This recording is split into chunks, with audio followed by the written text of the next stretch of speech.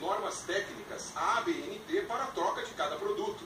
O fluido da caixa de direção, por exemplo, pode até atrapalhar quem dirige. Se for colocado um fluido incorreto para o veículo, existem vários tipos de fluidos, pode causar o quê? A direção pode ficar dura, fazendo barulho ou até causar vazamentos no sistema de direção hidráulica do veículo. O mecânico alerta também para o perigo de uma troca errada do óleo de o cliente foi no posto de combustível e completou o fio de freio. Só que o cliente colocou fluido da direção hidráulica no freio.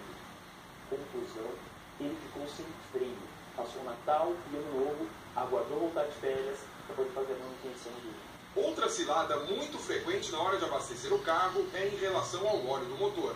Você não pode chegar no posto de combustível, mal desligou o motor, né, enquanto está abastecendo, abre o capô, vai lá, puxa a veta de óleo e já mede. Não adianta. O certo é fazer a medição num local plano e esperar 10 minutos para isso. É o tempo do óleo escoar até o fundo do motor. Você chegou no posto de combustível, desligou o motor, não esperou esse tempo de 10 minutos, é claro que vai faltando óleo. Porque o óleo está espalhado em várias partes do motor. Aí você coloca meio litro de óleo no motor. Depois que esfriar 10 minutos, o calcando vai ver, ele está acima do nível.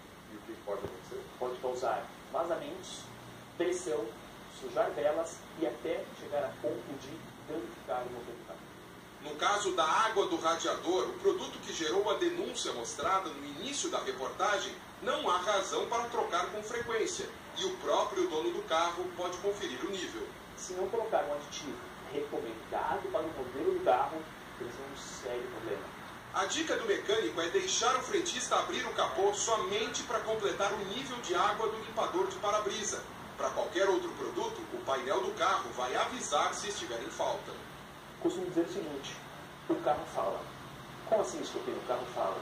É, no painel do veículo tem várias informações.